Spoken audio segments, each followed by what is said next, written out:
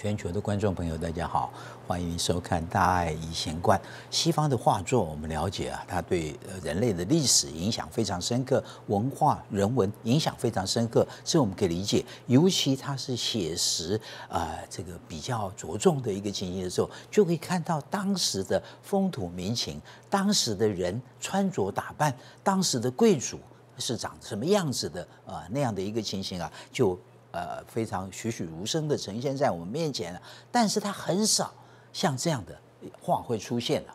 就是画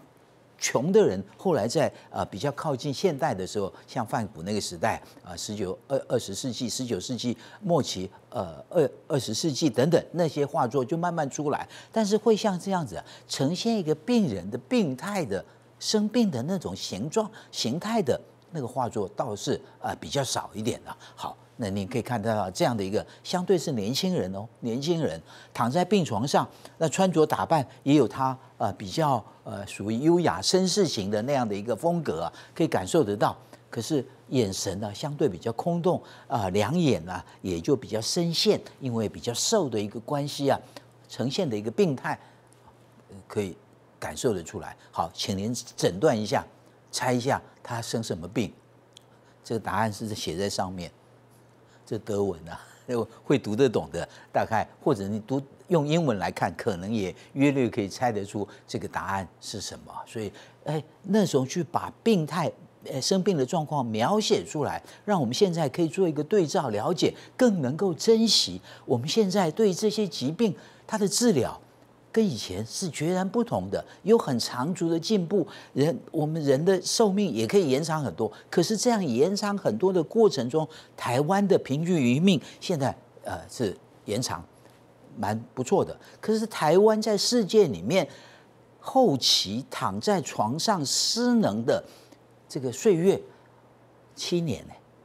非常恐怖的数字啊。所以能不能把这个东西啊，啊，这个尽量减少，我们寿命延长，但是失能后期年老失能的时间减少，这就叫对健康多一点点投资，多一点认知啊，认知比较重要，不是说投资去买什么东西来吃比较重要。好，生命啊，那生命这席席慕容的时呃时光之卷啊，啊，它里面就写着，谁说绵延不绝，谁又说不舍昼夜，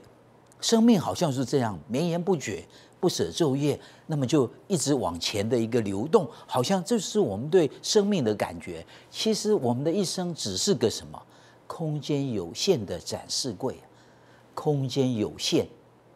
我们并不是啊永远绵延不绝的意思啊，要珍惜，要把握，而且要把这一部分的呃有限的展示柜，到底用什么样的一个方式去呈现呢？时光是画在卷上的河流啊，时光是画在卷上的一个河流，把时间东逝水那个感觉更加深刻的用这样的一个呃形容，让可以让我们感觉更加深刻的一。呃，这这份感动啊，这一生的青山绿水，无论再怎么精心绘制啊，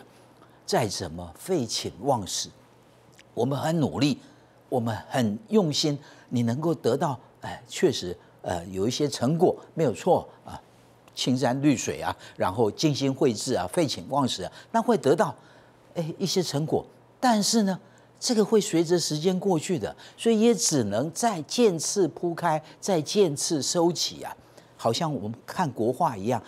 这个卷轴嘛，渐次收开，再卷渐这个看过去以后，这边又要收起来，才能再看到后续的那个状况。所以他用这种时间啊，跟这个河流再跟卷轴合在一起啊，非常非常厉害的。凡不再展示的过去啊。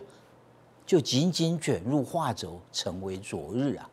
这个有时候该忘掉、该淡忘掉某些事情啊啊，这个就让它过去吧。当然还是要保存记录啊，但是不用时时刻刻萦绕在心呐啊！觉得这个才是生命的主轴，这个恐怕还是我们需要啊有这样的一个动动感。过去也把保存住，未来再把它展开出来，这个是蛮好的一个感觉。好，所以河流啊，给大家看一下这样的一个图。所以这个是当然缩小，然后呃，这个整个卷轴这样开开始开始看起来，从这个地方再这样看起来的一个状况，这是富山村居图啊，呃呃富富山呃富春山居图，富春山居图就是富春江在浙江这个地方啊，那黄公望。元朝的一位画家，是大概十四世纪左右的一位画家，他画的非常让人家呃，这个自古以来的所有的人都非常喜欢的那种气质啊，因为是蛮细的，所以呃一步一部分的去呈现的时候，这个让人家感受得到啊，非常呃呃这高雅的那样的一个山水呈现，跟文人的胸襟做一个很好的连接，所以有人称之为是画中的《兰亭集序》。王羲之的《兰亭集序》是书法中的宝啊，这个是画中的那个宝，所以他一开始的时候，你看从这样的展开过来，呃，浙浙江的这个富春江那样山边、海岸边、河岸边的一个感觉，然后到山的那样的一个感觉，哇，这个呃，这个山的那种造型啊，也不是很写实，但是你可以感感受得到那意境啊，啊。非常的优雅的啊那种感动啊啊，这个里面请大家注意一下，这个富富春山居图山居嘛，所以你一定要会遇到有一些城镇啊，或者遇到有一些旅客旅人呐，这里面完全几乎没有，几乎没有人，只有几个人是渔夫啊，非常少，没有半个旅客游客在这样的一个位置啊，然后你看山，有的呃水。或者是地形地貌，有些地方你看树木是郁郁苍苍啊，可以看得到。哎，有些地方树木都已经枯枝，已经落叶，那到底是什么季节？夏天吗？秋天吗？不是，这是文人想象的空间跟实际的山水做一个结合，意思就是实际山水仅供参考，这是一个精神的山水画。所以，东方的艺术里面也是让人家非常呃佩服的一点，就是说，我们可以把呃东方的那些呃画家，可以把他的一个哲学思想跟这个画做一个很好的一个结合。那你看，少数的有那样的一个呃这个房舍在那里面也是非常少的一个状况啊。所以这种呃。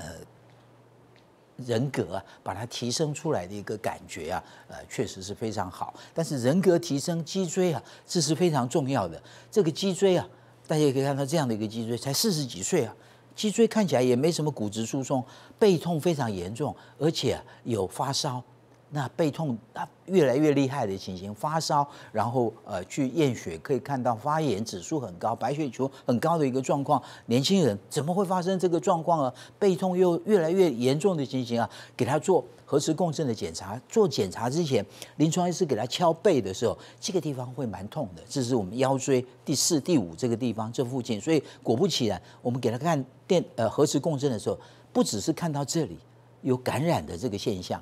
这个连我们靠近呃背皮肤这个地方也有感染的这个现象，意思就是说这是骨头的一个发炎，发炎扩散到我们背部的这些软组织去，以及我们后腹腔的这个软组织去啊，所以这个非常严重的感染，这个骨头的一个感染，它往前可以到后腹腔去，往后可以影响到神经，所以会痛，以及后面的皮下组织啊，所以这必须要呃清创手术啊。赶快把它弄好以后啊，这可是还是很痛那种情形，因为脊椎不稳定啊，再加上融合的手术，所以非常非常辛苦。那为什么血糖啊？血糖，所以现在血糖高不是年龄大，三十岁是不是那么少见的？所以这都是非常重要要去控制的。好，一开始的时候请教大家，其实答案就在这下面，tuberculosis 啊，这是德文啊，结核病啊。所以那时候的一个病啊，年轻人就会得到这个病。现在年轻人就会得到血糖高，我们要注意，感谢收看。